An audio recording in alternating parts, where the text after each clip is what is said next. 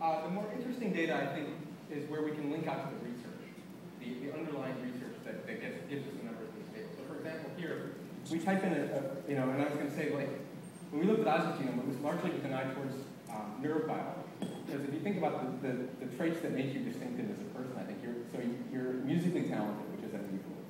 Um, you, uh, you have, you've led an aggressive life with, a, with, a somewhat, uh, with an addictive personality. Um, and you've got symptoms of Parkinsonian-like disease, so it's Parkinsonism.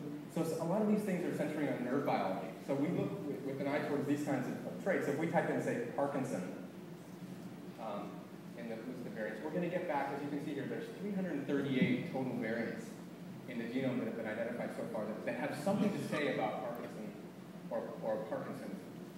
Now, they may not have much to say. As, as we said, many of them are from SNP chips. Um, and they're getting, the, the research is getting better every year and every week.